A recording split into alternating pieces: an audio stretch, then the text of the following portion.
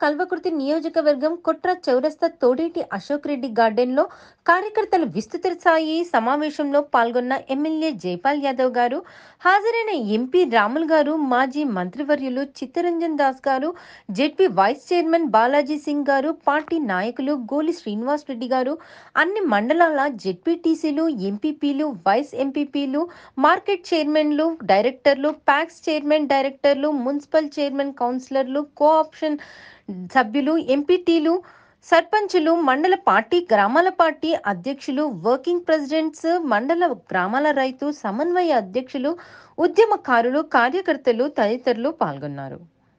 తెలంగాణ ప్రజలు పడుతున్నటువంటి బాధను అర్థం చేసుకొని ప్రభుత్వం వచ్చిన తర్వాత ఒక వినూత్నమైన పద్ధతితోటి ఒక కొత్త పద్ధతితోటి మరి అనేక పథకాలు ప్రవేశపెట్టి ఆ పథకాలను కొనసాగిస్తూ ఇలా భారతదేశంలో ఏ రాష్ట్రంలో లేనటువంటి పథకాలు మన తెలంగాణ రాష్ట్రంలో అమలు చేయడం జరుగుతున్న విషయాన్ని ఈ సందర్భంగా తెలియజేస్తా ఉన్నాం.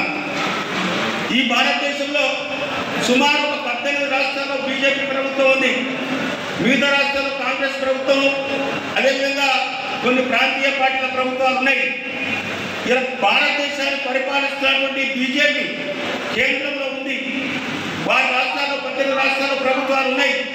కానీ మన తెలంగాణ రాష్ట్రంలో ప్రవేశపెట్టిన ఒక్క పథకం కూడా బీజేపీ రాష్ట్ర ప్రభుత్వాలు భారతదేశంలో మా శక్తే కాదు వెయ్యేకుల బలం. అంతేకాదు ఆయన కారణ జన్ములు కూడా.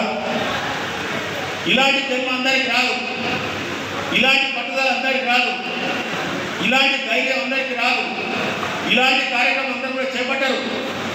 కేసీఆర్ గారు అంత ధైర్యవంతుడు అంత సాహసవంతుడని ఈ సందర్భంగా తెలియజేస్తా ఉన్నాను భారతదేశానికి బానిస సంఖ్యల నుంచి విముక్తి కలిగించడానికి పూజ బాపూజీ మహాత్మా గాంధీజీ నాయకత్వం వహించి దక్షిణ ఆఫ్రికా నుంచి అన్ని విడిచిపెట్టి భారతదేశానికి వచ్చి భారతదేశానికి నాయకత్వం వహించి దేశాన్ని ఒక్కటి చేసి తెల్లవారి మెడలు వచ్చి తెల్లవారిని పారదోలి భారతదేశానికి స్వాతంత్రం ఇచ్చినటువంటి మహాత్మా గాంధీ భారతదేశానికి జాతి పిల్లగా మహాత్మా గాంధీగా పిలువబడ్డాడనే విషయాన్ని సందర్భంగా తెలియజేస్తా ఉన్నాను.